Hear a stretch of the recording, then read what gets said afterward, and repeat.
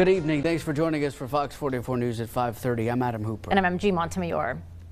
After two months of trial uh, to find Cedric Marks guilty in the capital murder of Jenna Scott and Michael Swearingen, the jury has sentenced Marks to death. The jury made this decision unanimously after hearing closing arguments from Marks himself and the prosecution.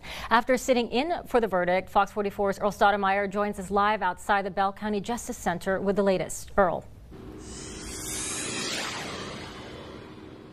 Adam MG, it felt like a weight was lifted for the families of Jenna Scott and Michael Swearingen, finally getting justice as Cedric Marks was sentenced to death for capital murder. Both of the families were in tears because they waited four years for this verdict. When it came down, some of the family and friends even hugged Marks's family outside the courtroom. In closing arguments, Bell County 1st District Attorney Stephanie Newell told the jury Marks was capable of violence, and once he makes his mind, he doesn't stop. Marks responded saying he will not stop defending himself because he didn't kill Mike and Jenna. Mark still stood on what he said yesterday for the jury to give him the death penalty, and he was born ready for what comes. Bell County District Attorney Henry Garza spoke last saying Marks is trying to manipulate the jury, saying this, and the jury made this unanimous decision in two and a half hours. We are the voice of victims. We brought that voice to the court in so many different ways.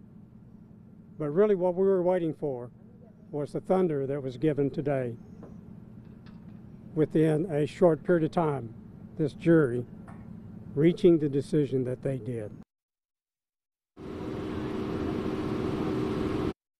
Hearing this verdict, Marks does have the ability to make an appeal, and at the end, Marks put in a motion for a new trial. At 6, we'll go into what Michael Swearingen's family and Jenna Scott's family have to say. Live in Belton, Earl Stoudemire, Fox 44 News.